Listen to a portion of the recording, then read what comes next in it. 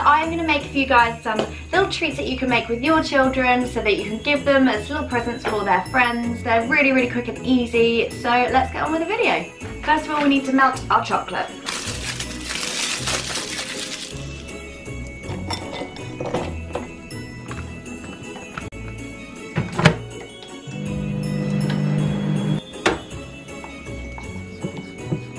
This bit is so, so easy. What we're going to do is some of golden glittery pieces into our moulds. And take our sticks.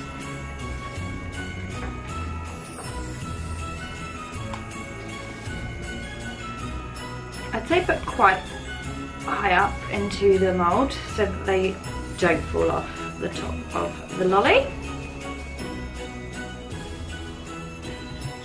And then just take your chocolate, oh so hot.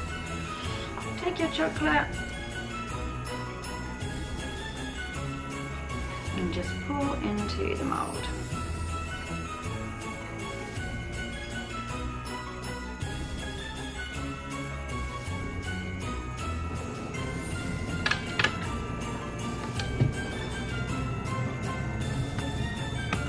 So now they've come out of the fridge, they're nice and set. I'm going to take them out of the mould and just peel off any excess that came out from outside of that mould.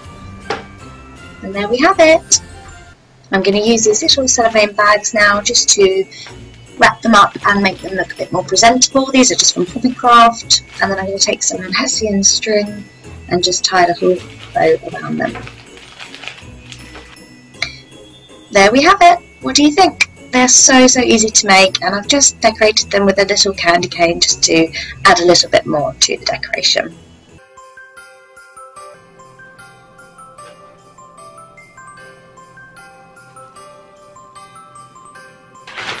So I've just got a little selection of sweets here to use as decoration and I'm going to put my Maltesers into a bag and using my bottle of olive oil because I still don't have a rolling pin I'm going to just bash them up so they're a bit smaller to go on top and then I'm going to put those back onto the plate so that everything's ready.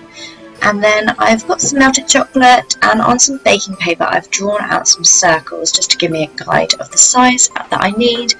And I'm just going to pop on my chocolate and then put on the lollipop stick and secure it with just a little bit more of melted chocolate.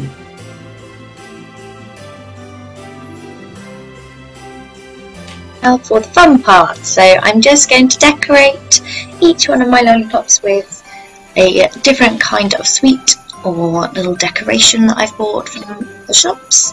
And I'm going to do crushed Maltesers on this one. And then few more there, and then some Spartans on the last one.